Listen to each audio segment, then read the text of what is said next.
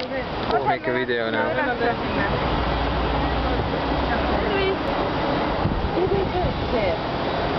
Automatica, automatica. Fra bambina.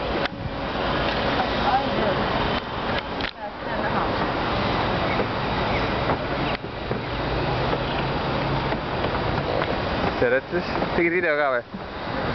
videot ei teinud, see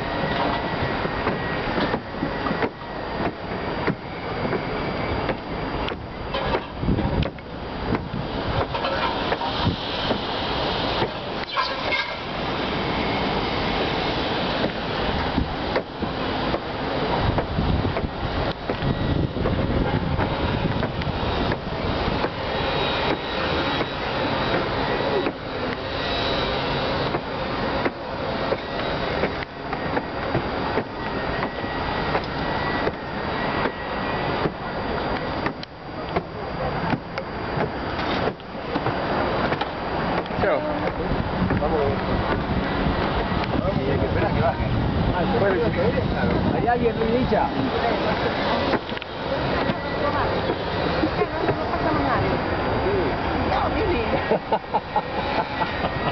Finito, Finito. momento. Finita la comedia. Finito. ¿No entraba nadie? No.